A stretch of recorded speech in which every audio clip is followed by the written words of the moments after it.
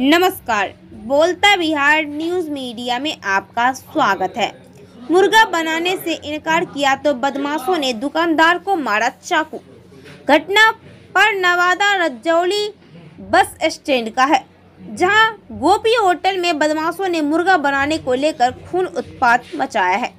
घटना में दुकानदार सूरज साव को बायां आँख के बगल में चाकू मार दिया जिससे सदर अस्पताल में भर्ती करवाया गया है।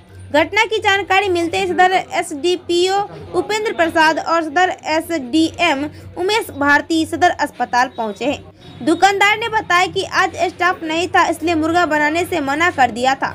चार पाँच की संख्या में रहे बदमाशों ने चाकू से हमला कर दिया। नवादा से अनिल शर्मा के साथ प्रिंस कुमार की रिपोर्ट।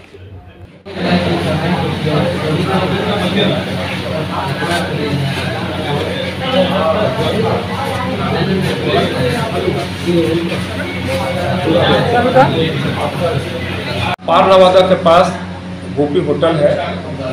उसका ये मालिक है सूरज जी। और कुछ मुस्लिम समुदाय के कुछ लोग जो है आए और इससे कहें कि हमको मुर्गा बना। इन्होंने कहा कि मेरे पास स्टाफ नहीं है हम मुर्गा नहीं बना सकते।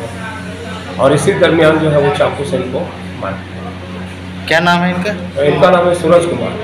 और मैं इस वीडियो के माध्यम से हम एक बात कहना चाहता हूँ कि अविलंब अगर उसकी गिरफ्तारी नहीं हुई तो मैं नहीं चाहता हूँ कि नवादा दोबारा फिर मुश्किल में फंसे। क्या नाम आपका? मेरा नाम कैलाश विश्वकर्मा विश्व परिषद अध्यक्ष।